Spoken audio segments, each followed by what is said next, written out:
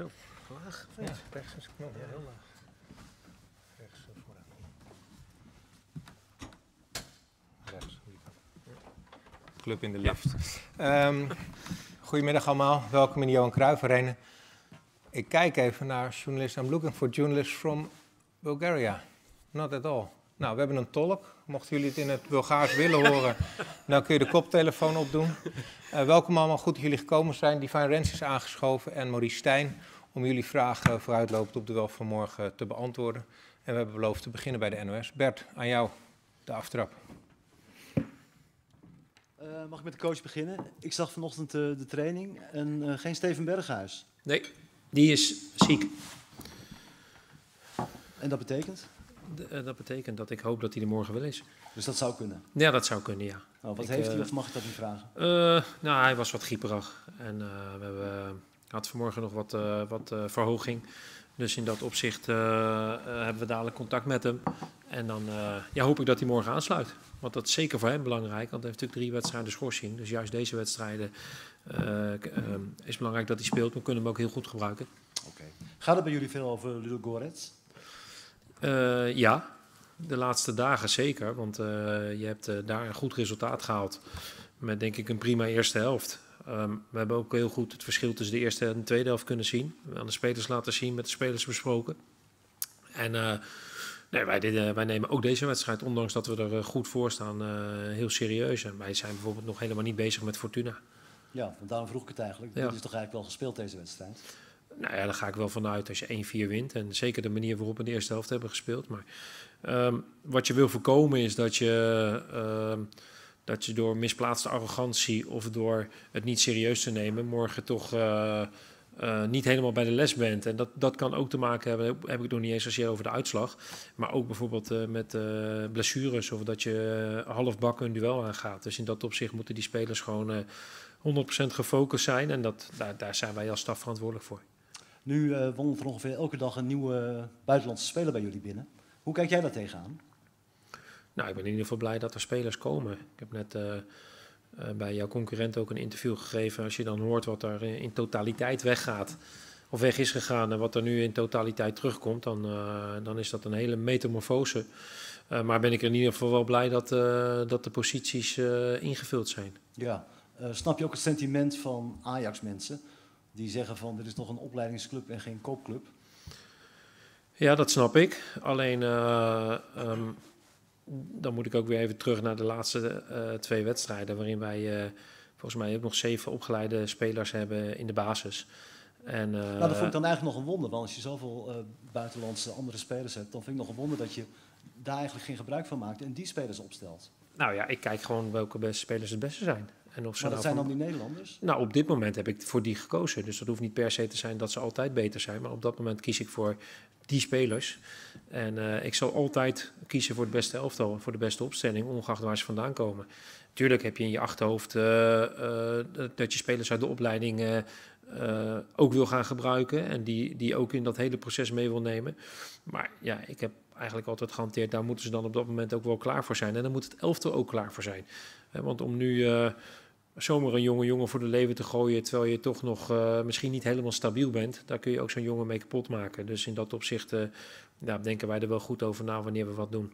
Hebben deze spelers die je dan van buiten haalt, welk niveau daarvoor? Ja. ja. Waarom kun je daar zo makkelijk ja op zeggen? Nou, omdat met een, met een groot gedeelte heb ik al nu gespeeld en getraind. Uh, er zijn er vanmorgen ook weer twee aangesloten. Um, natuurlijk, daar moet je nog van afwachten of ze het ook daadwerkelijk in de wedstrijden doen. Dat, uh, dat, dat zou moeten blijken. Maar ik heb in ieder geval wel veel vertrouwen in dat die jongens het gaan doen, laat ik het dan zo zeggen. Hoe moeilijk is dit voor jou, dat zo'n heel elftal opnieuw opgebouwd moet worden en dat je eigenlijk weer op een soort van nul begint? Um, nou, dat is. Uh, kijk, laten we wel wezen, natuurlijk, je, je hebt het liefst dat je in een elftal komt waar je op voort kon beduren. Hè? Dat er uh, negen spelers uh, van, je, van, je, van je vertrouwde basis uh, blijven en dat je twee of drie spelers moet vervangen. Dat heb je natuurlijk het liefst. Dan heb je de automatisme, dan heb je de, de, de, de, spelers die gewend zijn om met elkaar te spelen. Dat is natuurlijk altijd makkelijker. Maar in dit geval is het, is het ook weer een uitdaging om van dit, dit gehele geheel een, een elftal te maken. En dat, die gaan we met z'n allen gewoon aan. En dat gaat ook lukken? Dat gaat zeker lukken, ja. Dankjewel. Oké. Nog vraag voor de speler ook, Bert? Of gaan we door? Nee? Dan eh, gaan we zo naar ESPN, maar voor het gemak eventjes hier vooraan beginnen, Lindy. Maurice, goedemiddag. Eh, wat was ondanks de overwinning de belangrijkste reis die je hebt kunnen trekken uit het heenduel in Bulgarije? Nou, het verschil in, tussen de eerste en de tweede helft was het belangrijkste. Eh, dat hebben we ook aan de spelers laten zien. Dat hebben we ook gestaafd met statistieken. Uh, tweede helft bijvoorbeeld 100 passes minder als de eerste helft. Uh, veel minder in de duels. Dat kan met de stand te maken hebben. Dat, uh, dat is altijd heel moeilijk om dat precies te weerleggen. Als je 3-0 voor staat en je komt uh, uit de rust en je maakt vrij snel 4-0, dan, dan, dan kan het dat ze zeggen van oké, we, we houden de benen iets stil. En, uh, want we moeten volgende week nog een keer. Maar ik vind dat juist een gevaar. Dus ik vind dat je, dat je altijd volle bak moet geven. En, en ik hoop dat dat een les is voor de spelers. Dat ze hebben gezien het verschil eerste en tweede helft. Nu is de marge redelijk groot. Maar uh, volgens mij met de 3-0 uh, heeft uh, Jay Gorten volgens mij twee of drie geweldige renningen moeten doen om ze niet terug in de wedstrijd te laten komen. Dus dat is wel de leerles voor ons en uiteindelijk ook voor de spelers. Hoe reëel is het om met die vernieuwde selectie nu al het voetbal te spelen wat je, wat je voor ogen hebt? Nou ja, dat, dat zal.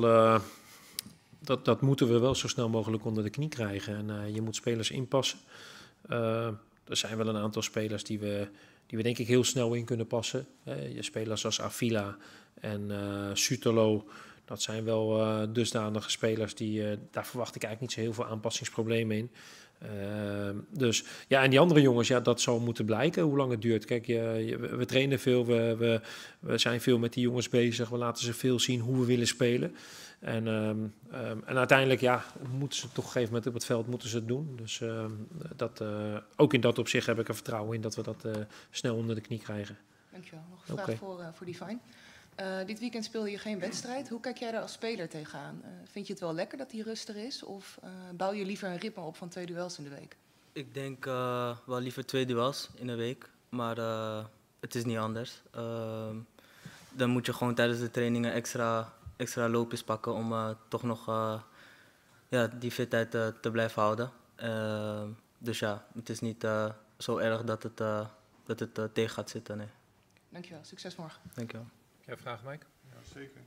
Maurice, uh, goedemiddag. Hey, Tijdens het trainingskamp in Duitsland zei je op Nederlanders of jongens met Ajax-DNA te rekenen. W wanneer worden die aangetrokken? Nou, ik, ik, ik hoop dat er wel een aantal bij zitten die... Nou, er zijn uiteraard geen... Er is maar één Nederlander gekomen, dat is Branco. Ja, die was er toen al. Die was er al. Um, maar ik denk wel een aantal spelers die uh, gekomen zijn... echt wel het Ajax-DNA be bezitten. Dat denk ik wel. En uh, um, kijk, uiteindelijk moet blijken, uh, dat weet jij net zo goed als ik, of het uiteindelijk allemaal in elkaar valt, of de puzzel in elkaar valt. Um, maar ja, wij hebben wel uh, um, met elkaar gezeten van oké, okay, aan welke voorwaarden moet dan zo'n zo'n zo'n dat Ajax-DNA zijn, hè? want daar waar iedereen het dan over heeft. Dus dan heb je het over individuele kwaliteiten, heb je het over een stukje bravoer, heb je het over uh, um, uh, vooruit durven verdedigen, spelen voor de winst. Nou, en ik denk dat we daarin uh, wel echt wel een aantal spelers hebben gehad die dat bezitten. Okay. En welke van de tien aankopen komen rechtstreeks uit jouw koker? Oftewel, bij wie heb jij aan de voorkant inspraak gehad? Nou, kijk, aan de voorkant hebben wij met de staf gezeten en hebben wij aangegeven welke posities we willen versterken. Um, waarbij we natuurlijk aan het begin wel heel duidelijk konden zien aankomen dat Alvarez weg zou gaan, dat Kudus weg zou gaan. Uh, uh, Timber, uh, Tadic, hè, want die zijn uiteindelijk pas lopende de voorbereiding weggegaan. Dus wij hebben wel die posities aangegeven. En uiteindelijk is het, is het Sven samen met zijn scouts die uiteindelijk met, met de namen en de bekende lijstjes komt. En zo is het gegaan. Ja, dus geen naam die jij hebt genoemd is gekomen of jij hebt geen naam genoemd? Nou ja, we hebben wel wat namen genoemd. Alleen ja, dan weet je niet of, het, of die speler dan daadwerkelijk haalbaar was of dat hij daadwerkelijk naar Ajax wilde. Dus wij hebben wel uiteraard ook met elkaar wat, wat, wat namen benoemd. En die ook neergelegd. En uiteindelijk uh, ja, zijn, er, uh, zijn er andere keuzes gemaakt. Dat hoeft niet vanuit per se goed of slecht te zijn, maar zijn er andere keuzes gemaakt. En dat is ook de taak van de, uiteindelijk van de TD om daar uh, samen met zijn, met zijn scout een, een klap op te geven. Ja, Bert had het net over het pers perspectief voor echte Ajax-jongens, opgeleide Ajax-jongens. Daar kom, kom ik zo nog even op. Ja. Maar had je achteraf bezien niet liever vier of vijf gevestigde namen in plaats van tien jongens gehad die ja, nog geen indrukwekkend trekker hebben? Ja, nou, maar dan kom je ook weer in dezelfde discussie of dat dan haalbaar was. Uh, kijk, we zeggen eigenlijk twee dingen. Aan de ene kant wil je gevestigde namen hebben. Dat is natuurlijk voor een trainer lekker, hè, want er zijn natuurlijk ook wel wat ervaren jongens weggegaan. En aan de andere kant hebben we het over uh, jonge jongens opleiden, Ajax-DNA. Dus, dus um, ik denk dat, dat er uh, ook bij deze, neem bijvoorbeeld de, de, de, driehoek achterin, bijvoorbeeld Tahirovic, uh, Sutalo en uh, Avila. Um, die zijn nog niet zo oud, maar ik denk dat dat wel al goede spelers zijn en gevestigde namen. Dat zie je al op de trainingen, dat zie je in de omgang van die jongens. Dus in dat opzicht is gevestigde naam en, en bijvoorbeeld de leeftijd uh, 25 tot 28. Ja, dat, dat, ehm, dat kun je ook bij deze jongere jongens denk ik nu al zien. Ja. Dat die dat bezitten. Hoe, hoe graag had jij Thiago Almada zien komen? Ja, dat is natuurlijk een naam die ik, die ik heel veel in de pers heb voorbij zien komen. En uh, die hebben we ook aan het werk gezien. En uh, ja, dat is een geweldige speler. En dat is, uh, um, ik denk ook een typische Ajax-speler. als je, als je de, de, dingen van hem meekrijgt, dingen van hem ziet. Um, maar goed, wij hebben uiteindelijk voor een ander type gekozen, ook voor een ander, iets andere positie. En uh, waar ik overigens ook heel blij mee ben. Maar ik denk dat zo'n uh, zo'n speler, ja, die had hier niet meer staan, laat ik het dan maar zo zeggen. Ja, laatste vraag voor jou, als, als het goed is. Uh, wat, wat is het perspectief voor spelers uit de Ajax-opleiding als er zo'n karrevracht spelers wordt gehaald? En snap je, Missouri en uh, Fitz Jim, dat ze niet willen bijtekenen? Um, nou, dat vind ik aan de ene kant jammer dat die jongens nog niet uh, bij willen tekenen. Um, maar een ander voorbeeld is bijvoorbeeld Stefano Vos. Hè, die, uh, wat is zijn perspectief? Nou, ik denk dat zijn perspectief heel, heel goed is. Ik heb uh, gisteren met hem gesproken. Ik heb net met hem uh, op mijn kantoor met hem gesproken. En hij heeft een heel duidelijk doel. Hij wil slagen bij Ajax. En wij hebben aangegeven dat wij op dit moment uh, vinden dat hij nog niet klaar is om, uh, om in Ajax 1 te spelen. Tuurlijk, uh, als de nood aan de man is, gooi je hem gewoon erin. En denk ik ook dat hij ehm, de kwaliteiten bezit om best wel overeind te blijven. Maar als hij de concurrentie nu aan moet gaan met bijvoorbeeld Tahirovic of Banco van der Boom op het middenveld, heeft hij het lastig. Hebben we hem ook uitgelegd, is natuurlijk net 18. Dus in het traject alle spelen bij jonge Ajax. hij heeft heel bewust voor vijf jaar getekend altijd meetrainen met de eerste selectie. En vanuit daaruit kijken, hey, uh, wat is nou uiteindelijk ook jouw beste positie? Want bijvoorbeeld heb je bij Sofano, of Silvano doen we, hebben we daar bijvoorbeeld ook, ja, jouw nichtje heet Silvano, daar zeg ik het. Nee, bij Silvano in dit geval heb, kun je ook met hem samen de discussie aan van, hey, is het nou een 6? Is het nou een 8? Uh, is het nou een toekomstige nummer 2? Waar die eigenlijk alle fysieke voorwaarden voor heeft. Nou, en dat verhaal hebben we met hem uh, gedeeld. En nou, hij ging net uit mijn kantoor met een hele grote smile, dus, dat, uh, dus dat, daar, daar ben ik niet bang voor. Dankjewel. Nog een uh, succes morgen. Ja, merci. Voor, voor Define. Wat, wat, is jouw eerste indruk, Define, van alle nieuwe spelers? Zeker goede indruk. Uh, toen ik ze gelijk zag, ja, wist ik gelijk van we gaan ze een warme welkom geven. En dat hebben we ook gedaan. Dus als ik naar ze kijk, dan zie ik wel gewoon dat ze gelukkig zijn en dat ze weten van oké, okay, ze kunnen zich thuis voelen en ze moeten zich thuis voelen. Dus daar maak ik me zeker niet druk om, nee. En hoe kijk je naar jouw seizoen tot dusver? En heb jij na vorig jaar iets goed te maken voor je gevoel? Ja, goed te maken. Het is uh, een lastig seizoen geweest. Uh, het is een seizoen om te vergeten en, te, en van te leren natuurlijk. En uh, dit seizoen is zeker een seizoen waar ik in moet gaan knallen. En ga knallen. En met alle vertrouwen gaat het goed komen. Dankjewel, succes morgen. Dankjewel. Van ESPN, achterste rij, Bennett.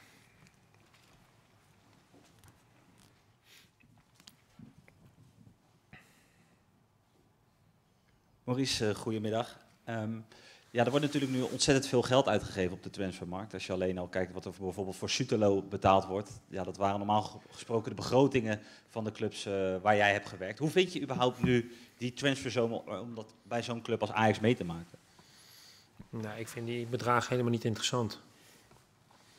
Want uh, uh, ze zijn zowel uitgaand als ingaand zijn ze hoog. Maar ik kijk gewoon naar de kwaliteit speler. En dus ik, ja, ik word er niet warm of koud van. Ja. Als je het over de kwaliteit van de spelers hebt. Uh, je zegt net eerlijk dat er andere keuzes zijn gemaakt dan dat jij misschien wel had gehoopt. nee, nee, nee, nee, nee. Dat is niet waar. Nee, ik heb gezegd dat, er, dat ik, dat, uh, Mike vroeg mij net of, ik ook, of wij als staf zijnde ook spelers hebben aangedragen. Die hebben zeker aangedragen, maar die bleken misschien niet altijd haalbaar. Dus dat is wat anders. Ja, hoeveel vertrouwen heb je er dan in dat je met de andere keuzes kampioen gaat worden? Veel. Want ook, die, ook dat zijn prima spelers die binnen zijn gekomen. Dus dat is, uh, dat is, de, dat is de discussie helemaal niet. Nee.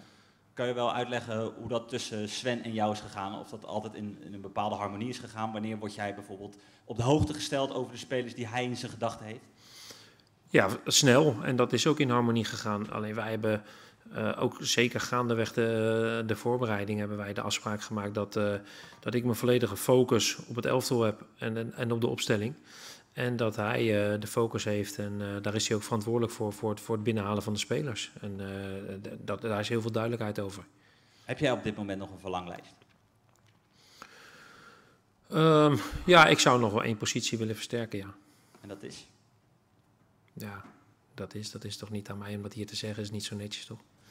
Weet ik niet. we zijn vooral benieuwd. Ja, dat zul je denk ik de komende dagen snel zien. Dus jullie zijn nog niet klaar in dat opzicht? Nee, ik denk dat er nog iets aan gaat komen. Dankjewel. Yes. Andere vraagstellers gaan we naar Sammy. Goedemiddag Maurice. Wat is jouw, uh, ja, hoe zie jij de nieuwe aankoop Mika Tatsen? Um, nou, wat hij wat vooral uh, uh, goed kan, en ik denk dat Divine me daar wel in zal steunen, is dat hij doelpunten kan maken. Dat, hebben we, dat hadden we in de beelden al gezien. Wat ik, wat ik prettig vind aan dat soort spelers is dat ze op meerdere posities uit de voeten kunnen. Uh, wat zei ik net al, links, rechts, op 10. Uh, heeft ook veel in de spits gespeeld. Um, en ja, dit, dit, is een doelpuntenmaker. En dat zagen we vanmorgen op de training uit alle standen, schiet hij ze erin. Dat is natuurlijk nog steeds geen garantie dat hij dat ook in de, in de competitie of in Europa gaat doen. Maar ik heb er wel veel vertrouwen in. Je ziet dat hij wel heel veel basisdingen heeft om, om het goed te doen, zeker. Kudus is nu weg. Is hij dan een speler die Kudus kan doen vergeten? Nou, dat hoop ik. Kijk, dat moet je natuurlijk, dat, dat, dat kunnen we pas over een paar maanden beoordelen. hij zal ook zijn aanpassingsproblemen hebben. Uh, maar hij heeft in basis, kijk, het is wel een ander type, laat dat ook duidelijk zijn. Maar in basis heeft hij wel heel veel. En uh, ook met name qua, qua doelpunt en assist, ja, daar is hij wel vergelijkbaar mee. Maar of hij ja, of die daadwerkelijk gelijk dat niveau van Kudus aantikt, die, uh, ja, die zeker uh, natuurlijk uh, vorig jaar en, en in, in, onder mijn leiding de laatste tien wedstrijden natuurlijk uh, uitstekend speelde. Met vorige week natuurlijk ook drie doelpunten in Bulgarije. Top, dan ga ik even naar Divine. Ja, Marie zei het al net, je had het zwaar deze training? Zwaar? Met de nieuwe, met de nieuwe aankoop, die veel doelpunten maken? Nee, we gingen wel partijtjes doen. Nee, je zag gewoon van, ja, dat hij van alle hoeken wel kan scoren, ja zeker.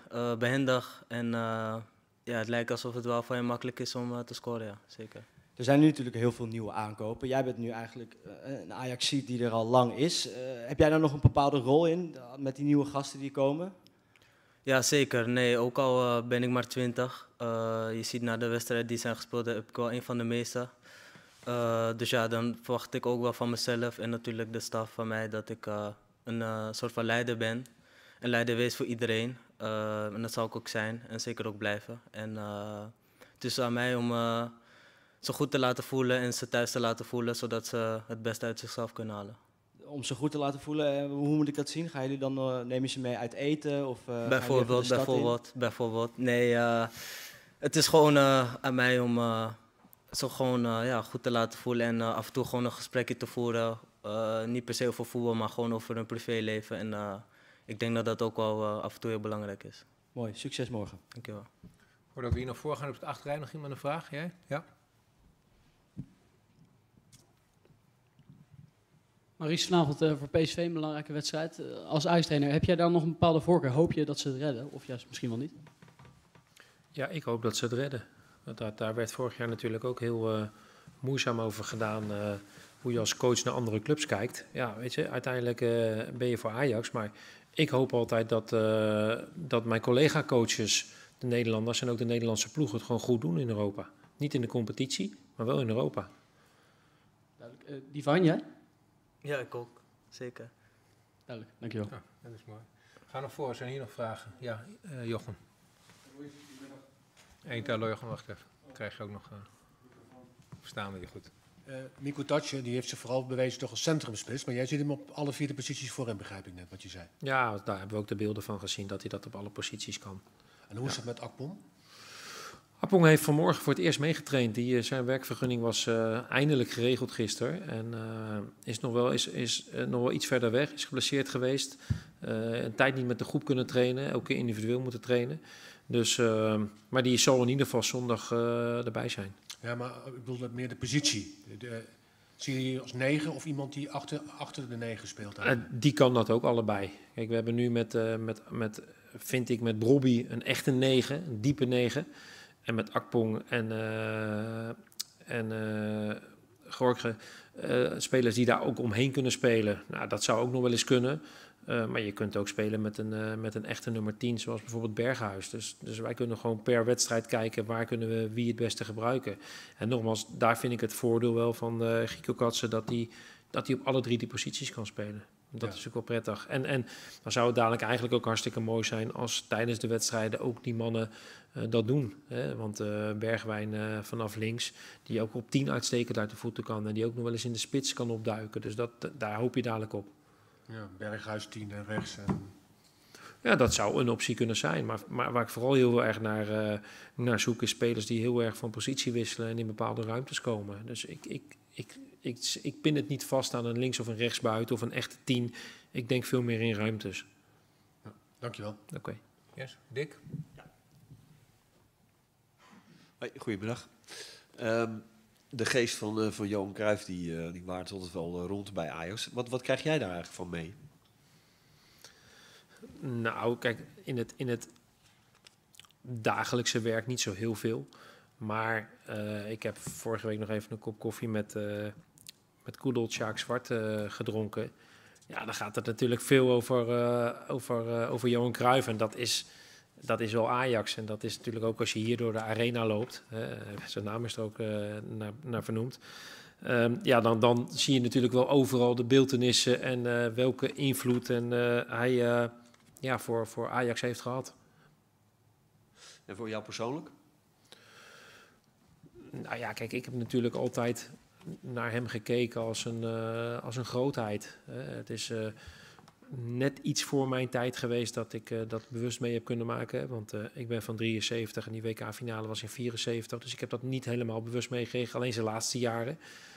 Ja, uh, de invloed die hij op het Nederlandse voetbal heeft gehad, niet alleen bij Ajax, maar ook bij Barcelona. En, en ja, eigenlijk zijn. Um, als, al zijn pupillen bijvoorbeeld zijn natuurlijk allemaal uh, grootheden geweest. Uh, noem Rijkaard, noem Van Basten. Nou ja, dan, dan, als je dan een aantal namen noemt, dan ga je er ook een hoop vergeten. Maar ja, ik denk dat hij... ja, eigenlijk elk woord wat je, wat je over hem zegt is... ja, dat, dat is gemeend en dat is ja, grootheid. Ja. En dan noem je Van Basten, die, die pas geleden wel, wel kritisch was op Ajax. Niet zozeer op jou, maar meer in het algemeen. Van ja, wat gebeurt er nou eigenlijk? Hoe hoe ga je daar als trainer mee om en hoe kun je zoiets pareren? Nou, kijk, ik, ik hoef niet zozeer de, de, weer, de woorden van, uh, van Marco te pareren. Uh, ik denk dat hij vooral vanuit een Ajax-hart uh, de, de, dingen zegt. En Marco vind ik iemand die altijd onafhankelijk zijn dingen zegt op tv. En um, daarom doe ik altijd zijn woorden zeer waarderen. Want hij zegt dat nooit met een dubbele agenda, nooit met een uh, onderbuikgevoel. Hij zegt dat gewoon oprecht vanuit een Ajax-bril. En, uh, dat opzicht hoef ik het niet te pareren, mag dat ook. Uh, maar hoop ik natuurlijk alleen dat, dat ik, ehm, waar, waar hij bang voor is, of de, de kritische noten die hij noemt, ja, dat wij dat als als trainerstaf en als spelersgroep kunnen pareren. Dat we daadwerkelijk wel uh, dadelijk meedoen om de prijzen en het, en het mooie voetbal uh, kunnen spelen wat hij voor ogen heeft. Ja, dus uh, jij moet ervoor zorgen dat zijn zorgen onterecht zijn. Ja. Oké, okay, ja. dankjewel. Yes, jij nog Reon? Ja. Hi Maurice, het ging net al eventjes over, over de nieuwe jongens die vanochtend voor het eerst aan het trainen waren, Mico Katsen en Akpom. Um, is het ook gewoon zo dat de komende periode uh, ja, eigenlijk nog moet blijken hoe die puzzel voor jou voorin uh, compleet gelegd moet gaan worden? Of heb jij dat zelf al redelijk in je hoofd? Nou, ik heb de, grote lijnen wel redelijk in mijn hoofd, maar um, soms gaat er ook iets ontstaan in zo'n elftal. Hè. Dan, dan zie je ineens koppeltjes ontstaan en dan, dan, dan zie je dingen gebeuren. Spelers met elkaar spelen die misschien wel elkaar versterken of misschien juist verzwakken. Ehm, ik, ik heb wel een idee hoe ik iedereen op zijn beste positie kan laten renderen. Maar dat moet natuurlijk altijd nog blijken in de praktijk. Ja. Um, het zijn allebei spelers die de afgelopen seizoenen vooral in de as hebben gespeeld, of op 10 of in de spits. Um, wat betekent hun komst voor nou ja, het perspectief van iemand die daar bijvoorbeeld ook nog wel is, uh, Davy Klaassen, waar het al eerder over is gegaan, deze voorbereiding. Hoe kijk jij daarnaar? Davy is ook gewoon een van de concurrenten voor de, voor de 10 uh, positie. Of als we met één controleur spelen voor uh, de twee aanvallende middenveldersposities. Dat, dat weet Davy. Um, concurrentie is pittig op zijn positie, dat weet hij ook. En um, uh, ik heb toevallig vanmorgen nog met Dave gezeten, een heel prettig gesprek met hem gehad. Hij, uh, hij weet zijn positie. Uh, ik vlak Dave nooit uit, want dat hebben we bij Excelsior gezien. Je brengt hem in en hij, ondanks dat hij die wedstrijd niet goed speelde, maakt hij toch gelijk de 2-2 en dan was bijna bij de 2-3. Dus dat weet je. Hij weet dat, je weet dat hij altijd dat hij scorend vermogen heeft. Je weet dat hij altijd de 100% geeft voor Ajax. Je weet dat hij geweldig ligt in de groep, dat hij... En uh, daar heb ik hem ook een compliment voor gegeven als we uit bij Excelsior spelen. En, en die fijn was daar ook bij uh, voor de wedstrijd. Als, je dan, als hij dan niet speelt en ik zie wat hij dan, ja, hoe hij die jongens motiveert. Dus in dat opzicht ben ik, ben ik ja, ongelooflijk blij dat hij uh, bij mij in de selectie zit. Ja. het is net al de hele tijd gegaan over spelers die er nu zijn. ze hebben allemaal nog niet gedebuteerd. Um, is het reëel om te verwachten dat een Akpom en Miko Katsen zouden kunnen debuteren tegen Fortuna Sittard? Ja, dat zeker. Ze zijn tegen die tijd speelgerechtig. Dus uh, dat betekent dat ik. Uh, maar dan heb je het ook over Avila en Sutelo. Ja. Dat betekent dat ik ineens vier, meer, uh, vier smaken meer heb. Ja, je en, verwacht Avila ook voor die tijd dat hij alles binnen heeft? Ja, dat mag ik toch wel hopen dat dat een keer geregeld is. Oké, okay. ja. Ik bedoel, de transferperiode is ook voorbij. Dus dat mag nou ook wel een keer geregeld worden. Uh, maar dat zeg ik met een knipoog naar Herman, want die, die is er de hele dag mee bezig. Dat weet hij. Um, nee, ik, uh, dat, dat geeft mij alleen maar meer mogelijkheden. En uh, ja, dan zullen we tegen Fortuna weer zien eh, ja, welke, welke line-up er is. Yes, dank je. Oké. Okay. Yes. Dat, ja, nog een naam? Dan gaan we even nog in. Mooi. Lindy.